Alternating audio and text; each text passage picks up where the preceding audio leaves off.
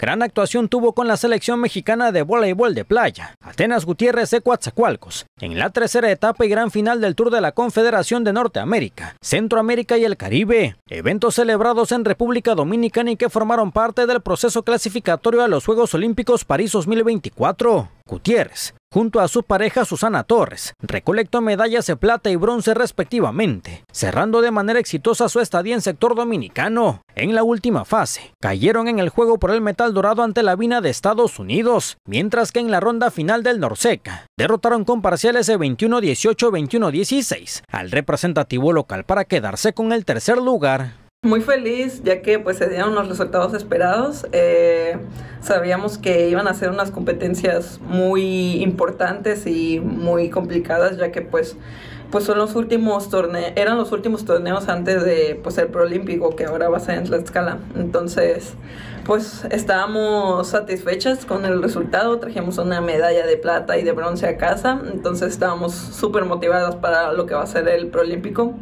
Y nada, estábamos preparando estos últimos días, este último mes para pues la clasificación olímpica. Señaló que dará vuelta a la hoja. Ahora se concentrará rumbo al torneo preolímpico con sede en Tlaxcala en el mes de junio mismo, donde estarán en disputa boletos para la justa veraniega.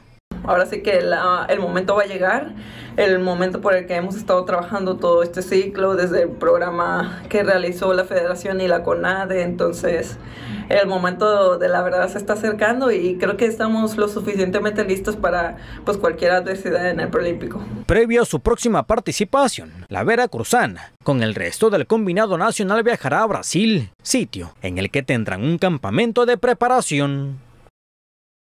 Enrique Martínez, RTV. Más deportes.